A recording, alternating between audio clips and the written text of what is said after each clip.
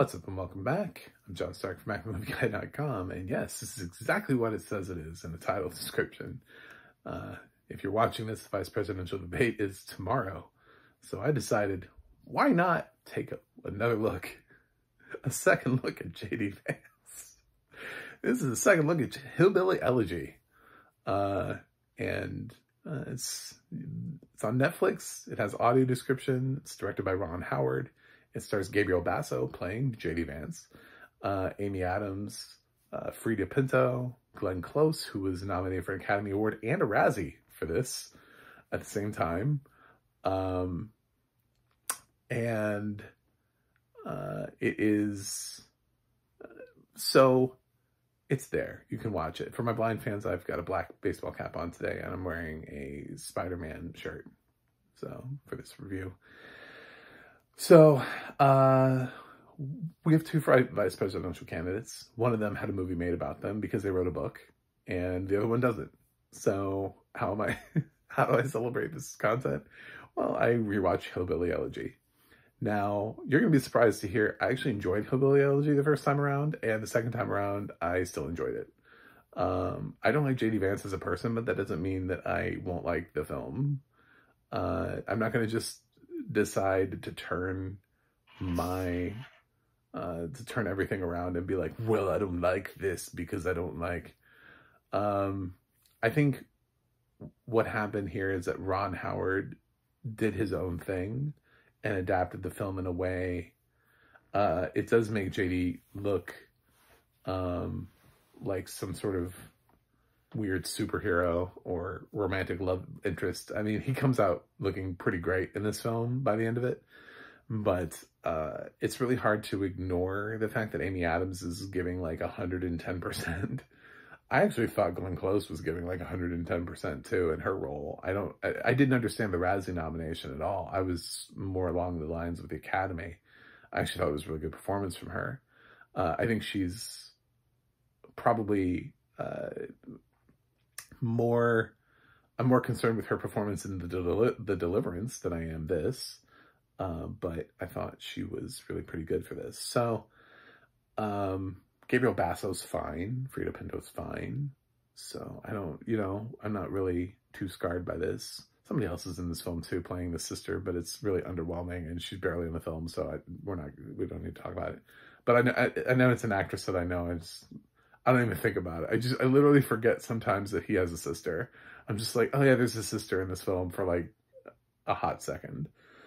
Um, so yeah, JD keeps having to come back and forth because of his family and he keeps having flashbacks to when he was younger and, uh, you know, he was misspent youth and then he turned his stuff around and started studying and, and eventually gets into law school, meets Freida Pinto, all that kind of stuff. So, although we don't really get that whole like meeting Freida Pinto thing, he kind of just already is with Freida Pinto at the time. So it's not really, uh, about their relationship like uh, Usha uh, who's now all over the news and hoping she'll become the second lady.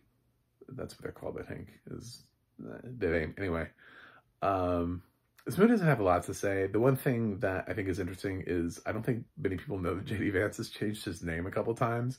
So what I think is funny here is that he's as young as he is and he's referred to as J.D. Vance.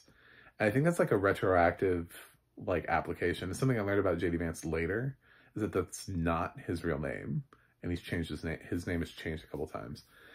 So, um, I I don't know if this is fully accurate in that way. I don't I don't want to know that much about this guy's life. so, uh, I've heard the complaints about the book and uh, how it paints hillbilly culture and how it blames poor people for being poor uh, and those kind of things. All the criticisms that now come out because, well, he's before he was just an author. Now he's a vice president, presidential candidate. So everybody and their mother is reading Hillbilly Elegy for the first time and putting their thoughts out in the world. Um, uh, what's that redneck uh, comedian guy that's uh, has a YouTube page? Uh, he talks about meeting JD Vance and what he thought of the book and all that kind of stuff. And I, I, I listen to his his thing, liberal redneck or something. I don't know, some stand-up comedian. Uh, so Uh, but I I don't like JD. He's he's uh I think he's he's a walking dumpster fire of a human being. Um, I don't know what he wrote in this book here, but I like Ron Howard as a director. And I think what Ron Howard did is he took, he saw something in the book in Hillbilly Elegy that he wanted to direct, that he resonated with, and he made a film. And I think it's important to be able to say what Ron Howard did here still works and that these performances still work. Um, it's all, but it is a version of, it's an adaptation of. So this is one of those things where, thank God, somebody didn't faithfully at, uh, adapt the book, because this film now stands on its own as its own thing. And I know not everybody liked Hillbilly Elegy when it first came out, so um, it, it's divisive. And I'm not going to say it's my favorite film either. It wasn't my favorite film when it came out. I just I like films where there's strong acting. And it's really hard to look at this film and say Amy Adams is bad. You know, I mean, like she's giving 127%, 145%. I don't even know. It's really off the charts. She's always fantastic. She always gives everything she has. And that's what she's doing here. So for me, uh, I can even a mediocre film gets a little bit better if it has fantastic acting in it. And I felt like Hillbilly Elegy has acting that I love watching. I love really getting in these performances. Amy and Glenn are just exceptional. I love their performances here, and I still love them on a second viewing. Uh, the audio description is uh, is solid. I thought it was really good. Uh, I never felt lost or anything in this. Um, it highlighted everything well uh, from what I could tell. So uh, I, I, don't know. I just I yeah, it's Hillbilly Elegy again for me. So um, I guess this is more like in defense of the movie, like just trying to take the movie out of that uh, and put it in its own little pop culture bubble and send it off. But I also know that not everybody likes the movie. Is it perfect? Nah, it's not. It's not a perfect film. It doesn't quite fully it it lit it jumps all over the place in terms of are we going back to the oh we're in the present oh we're back in again oh where are we in time period i have no idea you know i mean ron howard time jumps so many times in this film it's a little bit incoherent um, which means it's hard to even really fully lay in the plot with addiction the addiction thing isn't even really set up that well because we're just sort of like in it and then we're not and then we're in flashbacks, and then he's learning math and stealing calculators, and then he's Usha's giving him a call, and, and this film is narratively all over the place. It's really hard to follow sometimes, where you're like, what is happening? Where Ron Howard, calm down, calm down, man. like, it's, um, but somehow masterfully by the end of it, you're like, huh, that wasn't bad, you know? but like while you're watching it, you're just, you're like, what? I'm trying to keep up with you, man. I'm trying to follow you. I'm trying to get what you're doing here. Um, but yeah, because of that, some of the things are just, he ends up like underdeveloping things that you don't even really fully realize that he's underdeveloped because you keep jumping around and you're like, well, maybe we'll come back to that.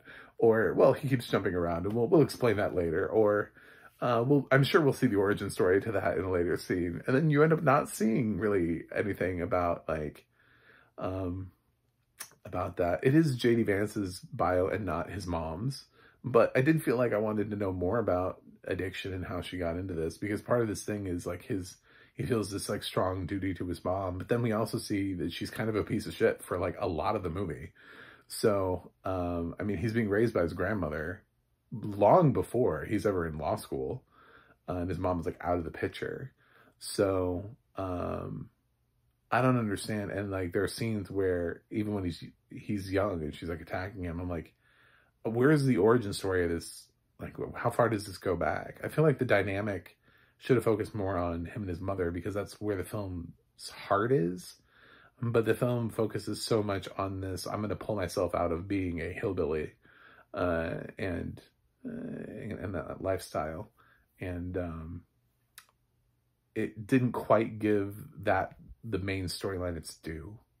You know, uh, the resonance in in uh, fighting addiction and how do we get over it and what is what does addiction really look like when it affects the family? All those kind of questions. How do you get into it? how do you get started? How do you uh, get into something and, and, unable to get out of it? All those kind of questions just are never really answered. So uh, it just kind of is like a performance. Like Amy Adams just kind of is addicted, you know. Uh, and uh, she's a great job at it, but uh, I think she probably would have preferred more. And I don't know if there were scenes that were left on the cutting room floor. It's really hard to tell because, again, Ron jumps all over the place narratively. But I like strong acting performances, so the grade might seem a little bit higher here, but I think Amy and Glenn are fantastic. I think Gabriel's pretty good. Uh, I wouldn't give him an Oscar nomination, but uh, Amy and Glenn I would. So, um, all that said, I'm going to still give Hillbilly Elegy a B. I think it's perfectly fine uh, as a film. So I, I, don't think JD is as a human, but uh, or as a vice presidential candidate, but uh, this movie is. So uh, anyway, there you go. This is as clickbaity as I could possibly get. Is the timing of rewatching Hillbilly Elegy uh, for the second time. So this is the second look at Hillbilly Elegy. Thanks for watching. Thanks for subscribing. And I will see you guys on the other side.